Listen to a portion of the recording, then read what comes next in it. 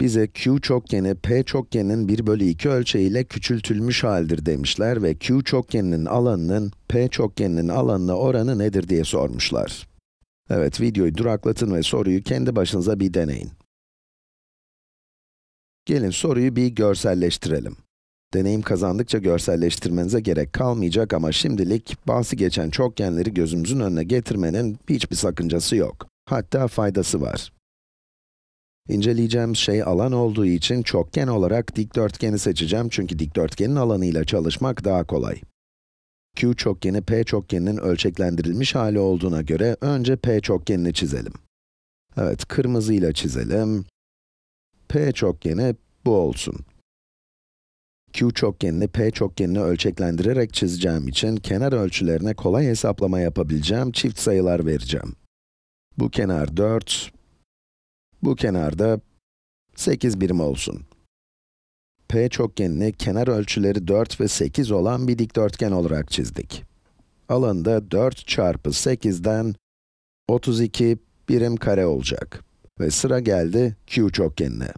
Soruda Q çokgeni, P çokgeninin 1 bölü 2 ölçeğine göre ölçeklendirilmiş haldir dediklerine göre, P'yi 1 bölü 2 oranında küçülteceğiz. Başka bir deyişle bu kenar 4 yerine 2, bu da 8 yerine 4 olacak. Aynen böyle. Peki bana ölçeklendirilmiş bu dikdörtgenin alanının ne olacağını söyleyebilir misiniz? Alan eşittir 4 çarpı 2 yani 8. Q çokgeninin alanının P çokgeninin alanının dörtte biri olduğunu gördünüz değil mi? Peki neden? Sebep şu.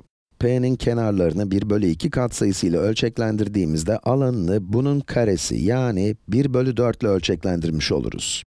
1 bölü 2'nin karesi 1 bölü 4'e eşittir. Bu yüzden de alan 1 bölü 4 katsayısıyla değişmiştir. Soruya yani q çokgeninin alanının p çokgeninin alanına oranı nedir sorusuna cevap vermek için de buraya 8 bölü 32 yani 1 bölü 4 yazıyoruz.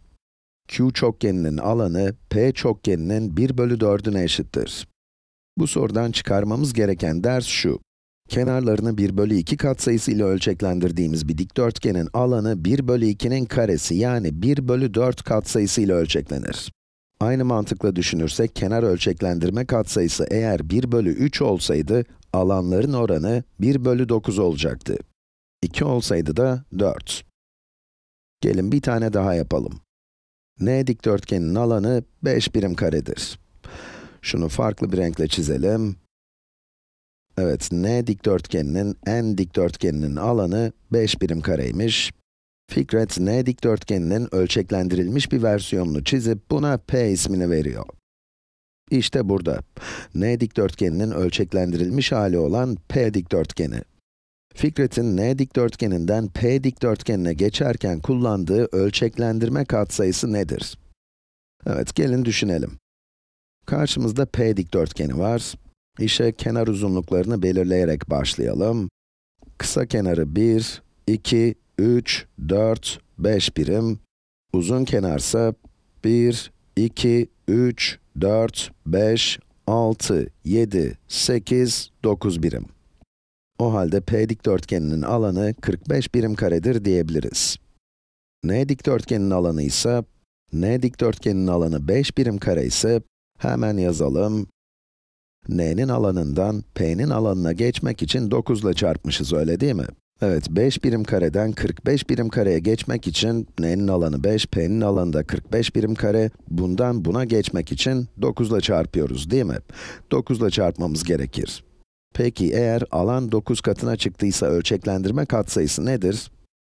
Alanın büyüme oranının ölçeklendirme katsayısının karesine eşit olduğunu az önce görmüştük. Hemen yazalım. Ölçeklendirme katsayısının karesi 9'a eşit olacak. Buna göre n'den p'ye geçerken kullanılan ölçeklendirme katsayısı da 3'tür. Soruya cevap verdik ama cevabımızın doğru olup olmadığını görmek için gelin bir sağlamasını yapalım. Hemen p'nin 3 katsayısıyla ölçeklendirilmiş bir versiyonunu çizelim. Ya da çizeceğimiz dikdörtgeni 3 katsayısıyla ölçeklendirdiğimizde p dikdörtgenini elde ediyoruz dersek daha doğru olur. Uzun kenar 9 yerine 3, aynen bu şekilde kısa kenarda 5 yerine 5 bölü 3 birim olacak. 5 bölü 3, 1 tam 2 bölü 3 olduğuna göre, şöyle çizebilirim. Evet, işte böyle. 5 bölü 3. Ve işte karşınızda n dikdörtgeni. Alanında 5 bölü 3 çarpı 3'ten, aynen soruda verildiği gibi 5 birim kare. Buradan da görebileceğiniz gibi alan 9 katına çıktığında, 5 bölü 3 birimlik kenarı 3 katına çıkarıp 5 birim, 3 birimlik kenarı da 3 katına çıkarıp 9 birimlik bir kenar elde ederiz.